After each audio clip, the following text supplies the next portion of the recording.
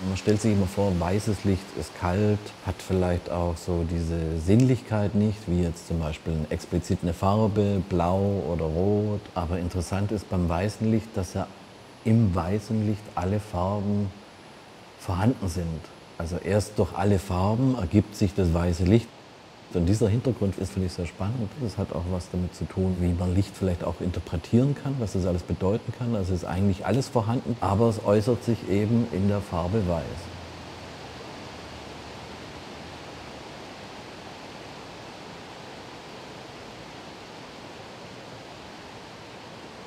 Weißes Licht ist auch entlarvend, hat auch so äh, wirklich was Gnadenloses. Das ist das, was ich da spannend finde. Man kann da vielleicht auch Dinge nicht unbedingt verstecken.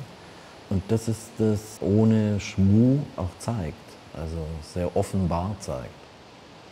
Dahinter steckt natürlich auch dieses Erkennen, was ist es eigentlich, was uns umgibt und vielleicht auch der Zweifel dran, was uns umgibt.